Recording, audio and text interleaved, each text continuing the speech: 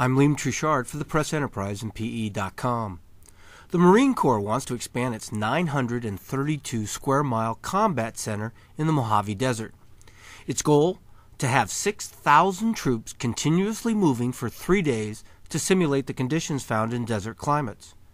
But it's where the Corps wants to expand that's become an issue.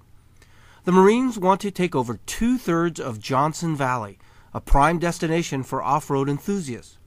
As one would expect, the expansion plan doesn't sit well with them. With this, this proposal, when we get up to the top of Jackhammer, um, pretty much we'd have to turn around and come back down. The, a lot of the trails out here will end up being, a, uh, you won't be able to use the uh, return on them because it'll be on completely closed new base property since the base is looking at, at taking away a lot of more than half of Johnson Valley and be closing it permanently.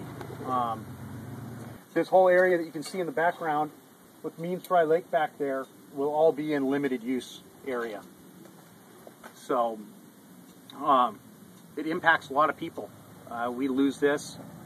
Uh, you know, it impacts economically Lucerne and, and Yucca Valley pretty bad, and the recreation for thousands and thousands of families. The Marines are accepting comments on their plan through May 26th. For more on that, see David Danelsky's story online. For the Press Enterprise and PE.com, I'm Liam Truchard reporting.